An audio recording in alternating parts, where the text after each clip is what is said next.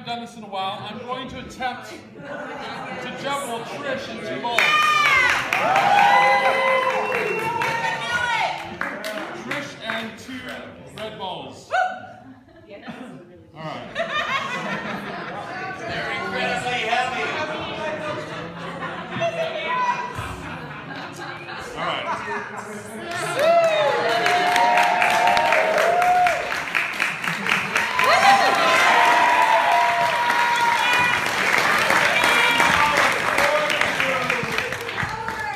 It's a 4-2, right? 4-2.